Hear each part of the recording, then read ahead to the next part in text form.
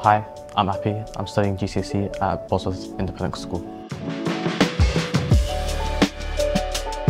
I'm studying biology, chemistry, physics, English language, English literature, uh, maths, further maths, Spanish, geography. My favourite subject is biology. Our biology classes are very small, so very interactive. We get to learn a lot in a short amount of time.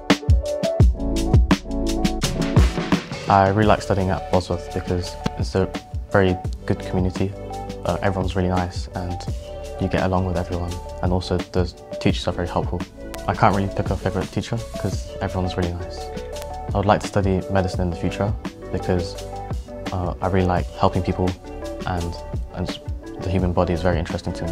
The small classes help you really make a lot of friends and you get, get really close to well, everyone. My experience at Bosworth is uh, people are very friendly and the teachers really push you to achieve your best, so um, it's really helped me.